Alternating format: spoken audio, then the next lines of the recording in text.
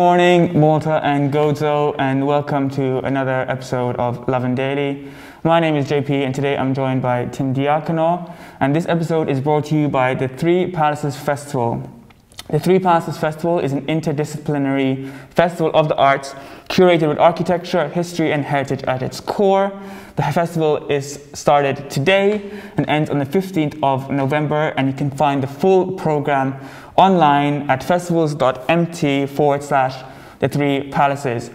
We also have an exclusive Lovin Malta interview at the end of this episode, so make sure to stick around with uh, Malta's newly elected MEP Cyrus Engerer. And these are your five headlines for today. Robert Abela rules out lockdown and warns of pain it's causing people overseas.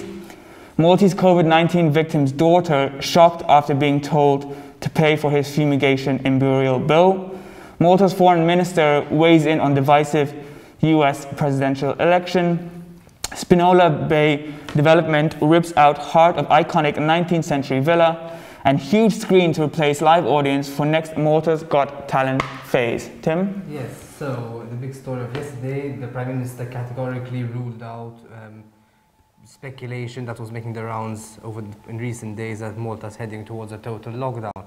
Um, and many European countries have gone down this approach during, you know, when, when hit by the second wave of COVID-19. But Malta seems to have adopted, it seems to, they have adopted a different approach, um, which, is, which is focused more on trying to bulk up the healthcare resources as much as possible while keeping, while imposing some restrictions, restrictions such as such as the masks, mm -hmm. and mm -hmm. keeping large chunks of the economy open. Um, it's a it's a it's a bold move because you know it's the the, the convention is to go for a lockdown. Yeah. However, he seems quite adamant that uh, lockdown is detrimental. So yesterday he said that if you look at other European countries, you can see the, the pain it's causing or the protests in the street, which actually defeat the purpose of, of lockdown mm -hmm. in the 1st mm -hmm. place mm -hmm. in, in the UK and in Italy and in France. Um, meanwhile, Malta has, Malta's second wave continues to, to, to go on. 174 new cases of COVID-19 were confirmed yesterday, along with three other deaths yesterday, including a 54-year-old man, which is the second youngest person mm -hmm.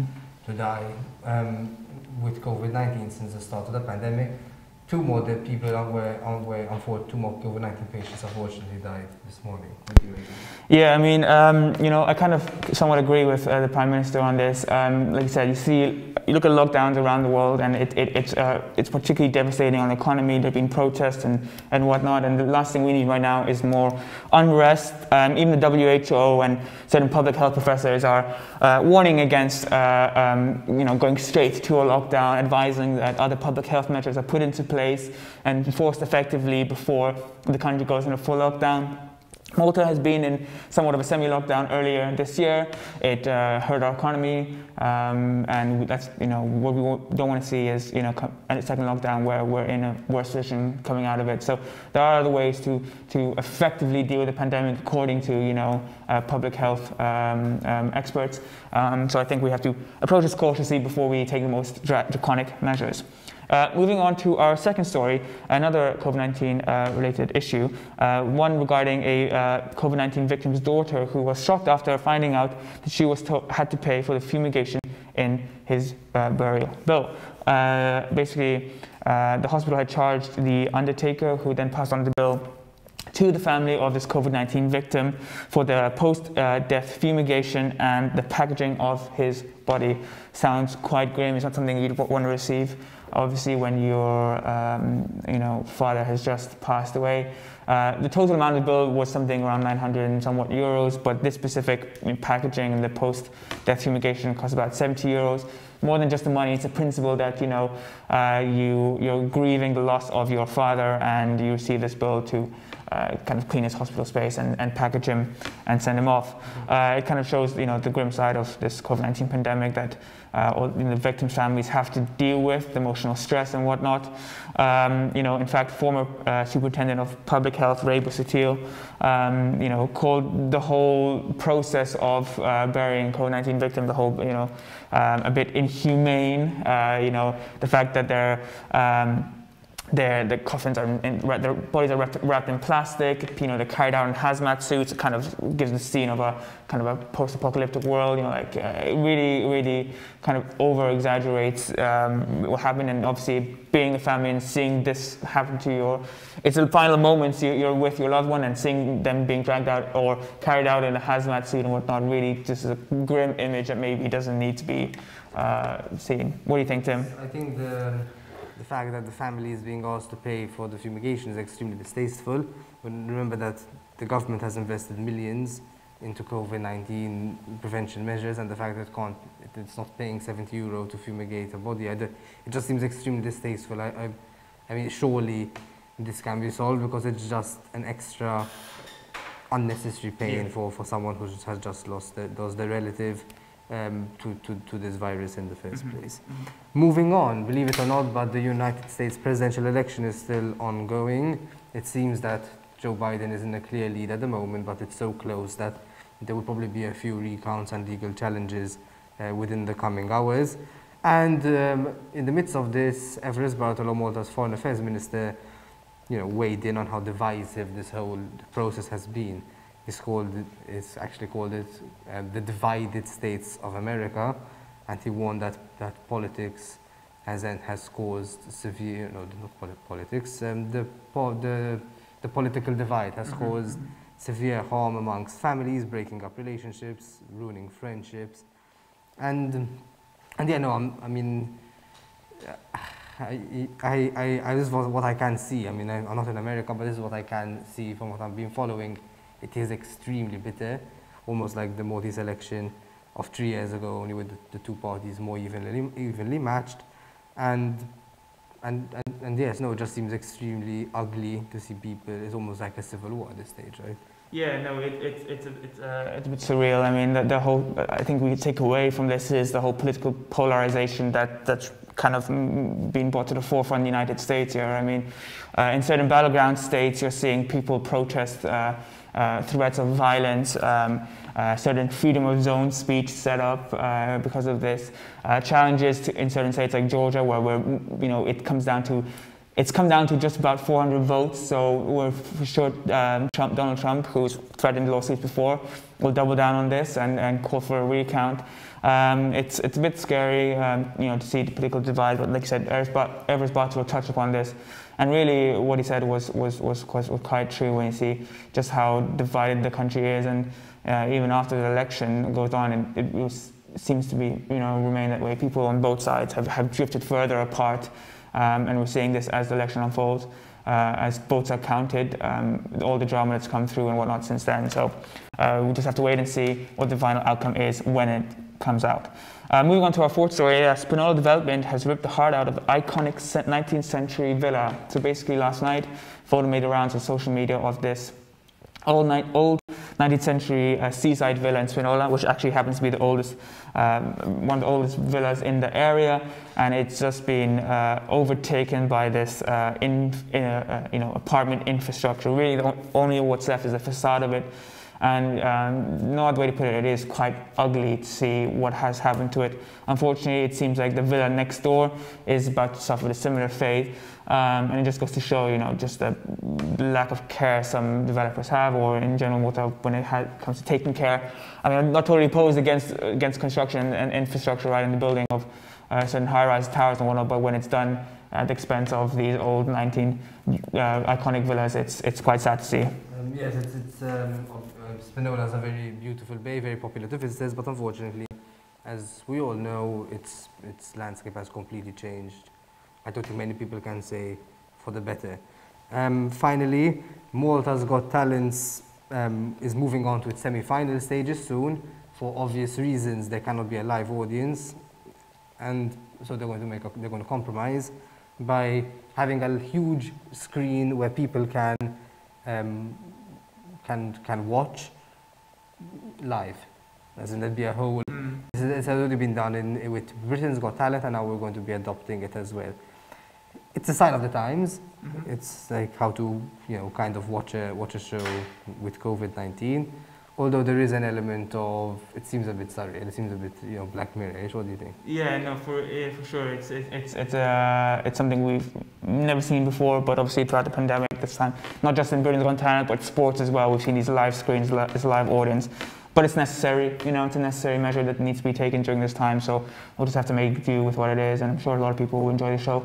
Uh, nonetheless, uh, just to remind you, this episode is brought to you by the Three Palaces Festival, which is happening now until the 15th of November. We also have a uh, interview now with Malta's newly elected MEP, Cyrus Engerer, so stick around. But before that, a quick word from our sponsors.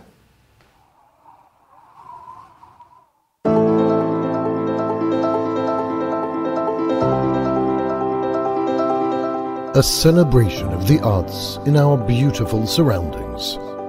Experience the extraordinary within the palaces of your mind. The Three Palaces Online Festival between the 6th and the 15th of November.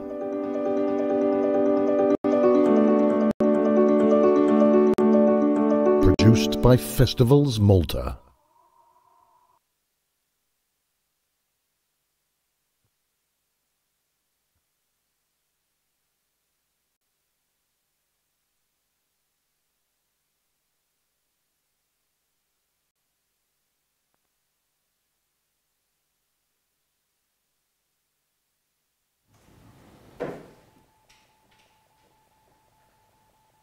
Hello. Hi. Hi, Cyrus. Um, Thank you for having me. So obviously you were yesterday you were elected as Malta's sixth MEP, replacing Miriam Dalli, who became an, an MP. Um, what you know, you're entering the European Parliament at a very sensitive stage in, in, in, in, in history. What, what do you think are the three biggest challenge, challenges facing Europe right now? Well, currently, I think the biggest challenge is the pandemic, for sure. Um, it is affecting not only the health of all Europeans and all those people living in Europe, but also uh, our economy. So um, one of the biggest challenges, which is also um, being discussed at the moment, not only within the European Parliament's plenary, but also on various committees, including the one that deals with public health, is uh, the way forward on the pandemic, how to win this war, the pandemic war, and I, I, think we're, we're on the right track now with the new vaccines coming out, um, the final testing on most of them. So now the most important thing will be distributing the vaccines to all uh, European uh, member states and finally, obviously, to, to all citizens who live all across the European Union. One of the strengths of us being members of the European Union is um, buying the vaccine together with all other countries, so with economies of scale, we'll also get a better price. And the, the vaccine is uh, estimated to, to be a couple of months away yet, at least until it starts being distributed on a, on a, on a widespread level. In the meantime, the virus is still here, and uh, many countries are going into lockdown. However, Malta seems to have has adopted a very different approach. It's kept, it has imposed restrictions, but it's kept large chunks of the economy open. You said a few months ago that you find the Swedish model of to, to COVID-19 interesting, and now Malta seems to have largely adopted that. What, what do you make of this approach? I mean, different countries will have different approaches also because of the realities and the context within which they are uh, living, basically. Uh, I found the Swedish approach interesting because it was different to, to maybe those of main other uh, European countries. Um, and it left its results. Obviously, there were uh, positive results and some negative ones. In reality, I think in Malta we're finding the right balance in the sense that um, the COVID cases have increased recently, although now it seems that it seems like they're settling um, to, a, to, to, to, an average every day, which is nearly the, same all throughout. We have um, introduced a number of new measures during the past weeks, which I think will leave um, the results expected. Um, and I think one of the most important things is to make sure that um, people's jobs remain safe while at the same time safeguarding all those uh, who are very vulnerable. I mean, um, it is uh, a shame that we have had an, a number of deaths.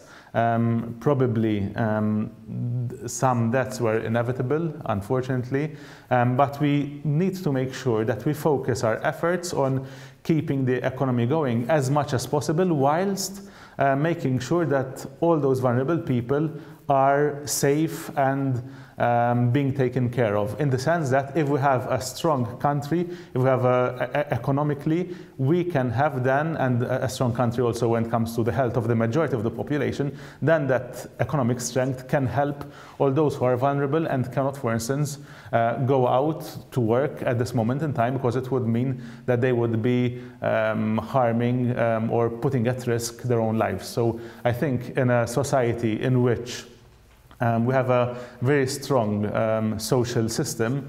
Those who are stronger will help those who are weaker. And that's something that uh, we really believe in. And I know that the Prime Minister and the Cabinet also are quite keen, are quite keen on. What's the risk of a lockdown? Well, the risk of a lockdown would, would mean uh, job losses. Um, so that is quite, um, it, if it would come to that, obviously, then that decision would need to be taken. However, I believe that we, we have found the right balance. I don't think that at the moment we need a lockdown. I remember that in March, there were many people who were calling for a lockdown. Uh, in reality, we didn't have a lockdown and we had very positive results. We almost had a lockdown. It was practically. We had restaurants closed. Re restaurants, gyms, hairdressers. Yes, but, but it wasn't, a, I mean, if, if, you see Belgium at the moment, um, you cannot go out of the house. You can have only one person that they call as your cuddle person, for instance. You cannot have uh, uh, uh other people.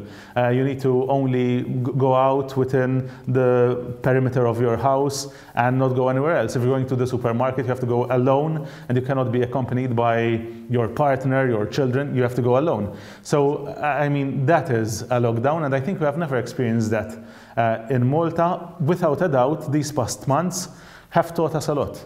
Um, this was something new to everyone. None of us knew how um, a pandemic actually would, uh, what things would happen. Um, obviously, each pandemic is different in its own right because every virus is, is, different. So we had to learn. I think we have learned. Um, and on the whole, I think we have moved forward quite, quite well. Um, hopefully, uh, we will manage to keep numbers as low as possible uh, in the coming months. I have full trust in the Maltese public authorities, I, uh, the public health authorities. Uh, I think they have done an extremely good job. Um, both uh, Professor Charmaine Gauci, the, the Minister uh, Chris Fearne. I think what we have managed to achieve is really good, especially when compared to other uh, countries and compared to um, the forecasts that there were before the, the pandemic hit our country. Uh, and I think that is something um, we should be proud of, but let's not then uh, put our guards down because um, we, we, need to keep um, being vigilant all the time. I think this is um, the most important thing. And when it comes to each and every one of us, our decisions will have an impact on the way that society will be affected by the pandemic. So the washing of hands, sanitizing wherever we are, uh, wearing masks and keeping uh, some social distance, which obviously um, has been proven to um, give very positive results. Just to wind down this topic, what do you say to those people who are looking at other European countries, at the UK, at Italy, at France, and Belgium, see Greece now, they're seeing them, you know, lock down, and they're saying, you know, Malta should follow suit as well. And they're asking, why, why isn't Malta doing the same? Like, is, is the government just being completely arrogant and only focusing on, on the economy over people's lives? But, so how, how do you respond to these people? No, I think that um, actually this government has shown how much it listens to um, people, how much it consults um, with everyone. We have seen various changing, changes during the past 10 months, not only on, on health, I mean in general. We have seen a government that really listens um, and consults, and I think this is what will keep on happening. Um, at the end of the day, this should be based on science, it should be based on um, what the public health officials uh, say, and we move on from there. I am sure that the top priority for government is people's health. At the same time, uh, in order to safeguard people's health, we need a strong economy. And I think, um, whilst having health as a priority, we need to uh, balance it out in order to have uh, the best po possible results. Um, I, am very convinced that uh, the way, with, with, the way we're approaching this situation and the um, the way that the politicians are listening to scientists here in Malta and moving on according to what the health authorities are advising, I think that we, we are managing to go through this very difficult patch in our, in our lives and in our history. And I, looking back, we, we would say that uh, Uh, the right decisions were taken at the right time. Your election yesterday was kind of overshadowed by another election, which is still going on in the United States. What, what, what's your assessment of it so far? Well, it's a very close race um, between President Trump and former Vice President Biden.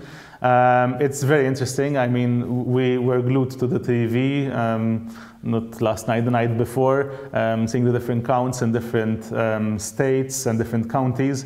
Um, it shows how much important it is for everyone to vote. I mean, the huge turnout in the United States uh, has shown that people are still interested in having their voice heard, voting, uh, maybe more than ever in the United States. Uh, these past four years, I think, have been quite turbulent. We have had a different president of the United States, which has fueled a lot of um, extremes in reality and has fueled a lot of people um, in voicing their opinion. A lot of things happened, um, uh, some things that maybe interest us. Uh, we're quite far away from the United States. However, certain decisions do affect us. For instance, having the United States um, sign out of the World Health Organization during a pandemic when global solidarity should be uh, and working together should be the most important. We have seen uh, President Trump signing off the United States um, from the Paris Agreement on climate change.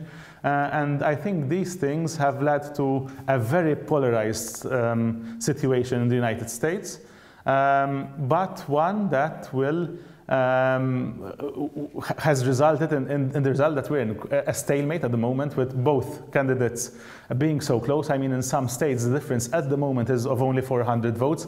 That would be even small in a locality in Malta, let alone uh, a whole state uh, in, in, the United States. So, uh, interesting times. Unfortunately, we have seen a number of um, statements by President Trump which are not normal to be heard. Um, I don't know whether on impulse, which we have seen the president doing quite a number of times in the past four years, uh, or if he really believes what, what he is saying.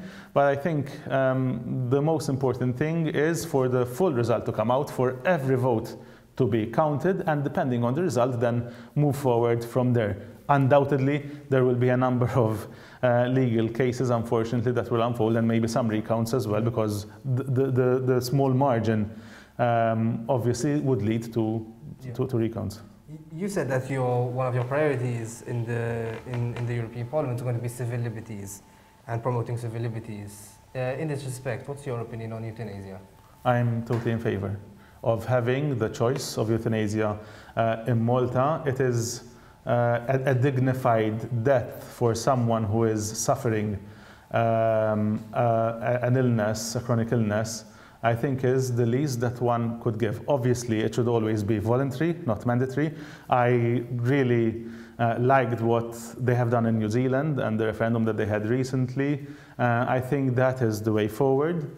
And we must always strive to see that um, people who are suffering and who are crying out for um, them to be able to have a dignified exit from life to be able to do so. Mm-hmm. What about abortion? Abortion, I've always been clear on this. I mean, um, both political parties here in Malta seem to be um, quite strong on their um, opposition to it. At the same time, we are seeing a number of people in both parties at the moment speaking out in favor of the right to choose. Um, I subscribe to that right, I, I, I have always done. Um, obviously, the, the thing is this if anyone comes to me telling me that they want to go for abortion, I would convince them and try to convince them not to.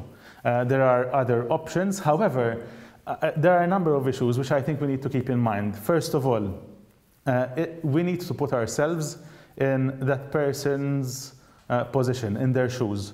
what is going on through their mind, what's happening, what, what their circumstances are, and why they want to go um, for, for that option. Uh, secondly, I think, which is one of the most important things, let's stop judging those women who decide to go for this option. I am sure that no one goes for this option um, without thinking it through and I am sure that for everyone, this is their last resort, their option of last resort. So let's make sure that whatever option women decide, let's at least stop judging um, the person. It is, I'm sure it's not an easy decision. I will wholeheartedly try to convince everyone not to go for it, um, obviously, unless there are huge uh, problems for the health of the, of the mother um, or other issues which obviously can lead to um, severe problems. Um, rape, uh, obviously, it is the decision of that person. I mean, I, I, I met someone recently who told me that a 13 year old girl who is raped and ends up being pregnant this woman told me, what would I want for my daughter? Um, although I am totally against abortion, she said, I don't want my child to psychologically suffer and who knows, maybe end up killing herself because of what had happened. So let's, this is why I really urge everyone to just not judge people and I try to help everyone out, maybe convince them and offer help. And I think the state should be there to offer help to anyone who is going through um, this situation and is thinking of having an, an, abortion. And that help might lead to that person not having the abortion at the end of the day. But let us not judge. And uh, let us, I, I know that this topic ends up um, having very extreme and sensitive um, reactions from people, and that is very understandable. It is a. For the murderers as well. Um, it, it, it, it, is an, it is an issue that many people feel strongly about, and I can understand that. But I think the least that we could do is help these people out who, who are going, thinking of going for this option, and apart from that, try to um, not, not judge them. Let's put ourselves in, in these people's shoes and help them out and maybe try to convince them not to have the, the, the, the abortion. I think the worst thing is uh, attacking this person, the, these, these people, and making them feel as if they are uh, they're doing something out of this world. I mean, we have seen what has happened in Poland in the past in the past weeks. Poland, which has started firstly um, decreasing um, LGBTIQ rights, uh, they barely have any, but they also ended up having uh, LGBTQI um, free zones um, where various cities were subscribing to this idea in which no one could show or else show any affection towards a person of the same sex um, or having transgender people, etc. And now they are curtailing on women's rights. I think um, sexual and reproductive health rights are very important. They should be discussed, and we should have women decide um, for themselves what is the best option for their current circumstances. So yesterday, during um, your, your was on, was on Piazza, you said that the Nationalist Party's MEPs are ruining Malta's reputation by the way they speak in in Brussels. However, last year, you also said that Joseph Muscat should resign and that Keith Schembri and Konrad Mizzi have betrayed the nation. What, what's the difference here? So like you, you're saying the same thing that, that they said, right? My, my issue is this. If you have a position, stick to it, not only for your country, but for all other countries. I think what has happened recently vis-a-vis Bulgaria is something which I cannot absolutely understand. I understand if you have a strong position on your own country and that you are making this fight. I would have. Just For the sake of people who might understand, this is from Bulgaria when Roberta Metsola voted uh, to, to water down a proposal. Um, on Bulgaria's rule of law issues. Exactly, because condemning Bulgaria for its rule of law, right? Yes, and I, I think people should be consistent, politicians should be consistent. I would have preferred to fight the Maltese fight here in Malta, which a number of people did in the Labour Party, uh, without uh, a, lot of um, noise, without a lot of um, issues, but we have seen the result of that within the Labour Party and the way that government has acted in the past 10 months, which is a complete revolution, if, if I may say, when it comes to rule of law issues. And, and, and we have seen the, uh, a number of changes which were very good changes. One has to say another thing though. In the 25 years that the Nationalist Party was in government, they totally believed that the systems we had were good. And obviously, uh, everything can be improved, and we have seen an improvement during the past 10 months. But my issue is with consistency. So you cannot be saying one thing about your own country when you're abroad, and then say the right opposite um, on another country, which now let's face it, we're speaking of Bulgaria, and I know many Bulgarian people who are, who are very strong um, when on, in their opinion when it comes to the situation in their own country. And let, let, let's, let's be consistent. I don't know, that may, maybe Roberta Metsola take this stance on Bulgaria because she wants the Bulgarian MEPs votes this week, this coming week, next week, and when it comes to her election uh, for vice president of the European Parliament. Maybe, but let's show consistency. I think that is the most important thing because at the end of the day, we have a situation where it, it seems that with such an attitude, my question would be Are you there for your country or for the European Union to have a better European Union, or did you take um, this stance on this particular issue for your own um, career within the European Parliament. I think that is something that really needs to be it's a fair question. It's a, fair, it's a fair point, Cyrus, but the issue is, I do so, so should criticism then only be done behind closed doors? No, I'm not saying that. I didn't, I didn't do that myself. Exactly. I mean, criticism is always important, and it is what uh, makes us move forward and, and improve ourselves. And I, and I really hope that everyone keeps on criticizing. I mean, I myself am that kind of person, and I know that within the Labour Party, uh, self criticism is something that is really. Um, encouraged not only by it was encouraged by the former Prime Minister Joseph Muscat. It's encouraged currently by the leadership of the Labour Party, Robert Abela, Daniel Micallef, the, the deputy leader, who has spoken also quite strongly on euthanasia, abortion, uh, and rule of law, and, and all other issues. It is the, the difference is um, constructive criticism and destructive criticism, and I think that is where uh, everyone, each one of us, sees and judges for themselves. And finally, what do you make of Bernard Grech's time as PN leader? Has been a month. What do you make of him so far? Um, I think he still hasn't found his place. I think he went into this with the right intentions um, and is a breath of fresh air, maybe compared to, to his predecessor. That said, uh, it, I, I, I, I'm not seeing him um, moving forward and growing in this role. I mean, you might tell me it's only been a month. Sure, we can, we can give him the benefit of doubt uh, when it comes to this. However, I, I, think the problem of the Nationalist Party is one of vision. It has no vision for the future. It is a party which is stuck um, in, in the past. It is a party that unfortunately has not moved forward. It's, it's still stuck with the same politicians that we have been seeing now for, I mean, since I was born. I'm 39 years old, and I remember, I don't know, Francis Amid the Secretary General, Chen Sugariya, the President. They've been there forever. And I think um, although people can change and can evolve in their thoughts and move forward, I think it is important to also have new faces, new people um, within the party and new ideas, which unfortunately uh, seem not to exist at the moment in the Nationalist Party, which is a pity because I think we need a strong opposition in this country. Um, but I don't think that Bernard Grech will be giving us that strong opposition that we as a country really need. Cyrus, Engerer, UMEP, thank you so thank much. You, um, that's all from us today on Lovin Daily. Um, for, make sure to follow lovinmalta.com for all the latest developments on these topics. And until then, have a day full of loving.